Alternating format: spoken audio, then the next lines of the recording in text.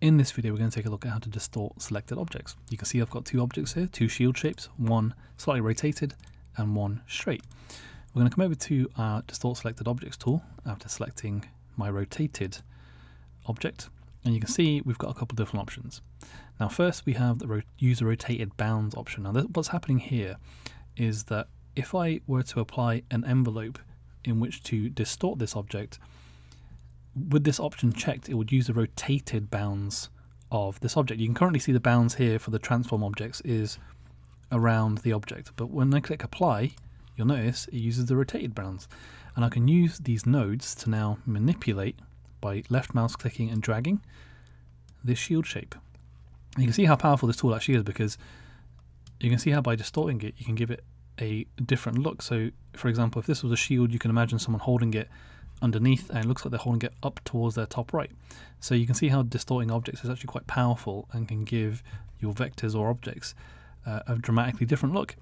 You can also use the node edit tools here. So you can see I'm in node editing mode here. So if I right mouse click, I can turn these into Beziers, to arcs, or I can even insert a point to manipulate this vector or object even further. So if I pop one in here as well, and I can also turn that to a smooth point and then I can get the handles to manipulate that even further and make different shapes with it. On this side I can delete that point if I don't need it anymore and I can turn it to an arc if need be. You can see how that dramatically changes it. If I hit Control Z on the keyboard I can also turn to a Bezier curve and I can use these handles to manipulate that shape. So you can right click here and exit node edit mode or you can press N on the keyboard or you can also press escape on the keyboard and you'll come out of node editing mode as well. So with that one done, let's have a look at the other example. So if we cl uh, close out this form for the moment and we'll come over to the right hand side, open the form again and this time we're not using the rotated bounds because this hasn't been rotated, the pivot point is still in the middle. And you'll see if I put a bounding box around this one, same again, I can simply distort the object as I need. Now you'll notice here that we've got some edit envelopes. We've got transform object and we've got edit envelope.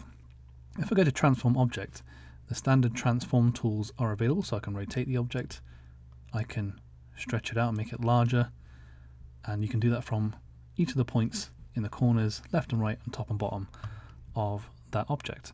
For the edit envelope this is where we're in node editing mode and then we can edit our vectors or objects as we need them. And then finally, we have the bake distortion option. Clicking this button will permanently apply your current distortion. You will then be able to either distort the object again with the new settings or node edit the shape directly. But effectively this will save your current manipulation or distortion of this shape. So if I click that, you can see how it saved that setting. Let's have a look at the examples for above a single curve and between two curves though. So let's close out the tool for one moment and we'll turn off this layer, make this layer active, and we've got our welcome sign here. So we can click our new object and we can come to the distort selected objects tool again. And if I hold shift on the keyboard and left mouse click this curve, if I choose the above single line option, hit apply, it'll put the object on that curve and I can distort it now in that new location.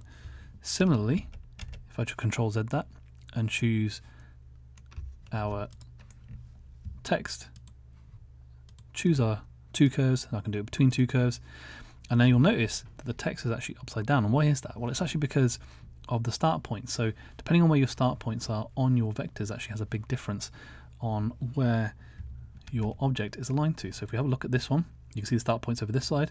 So if we right click, make start point, then we'll try again. And we can now get our text the right way around and we can distort it as we need it. Now it's also important to keep in mind that you can also use this tool with 3D components in software such as Aspire. Uh, so if you have any uh, components that you bring in such as clip art or 3D models, you can also use this powerful tool to distort those objects. And that concludes our video on distort selected objects.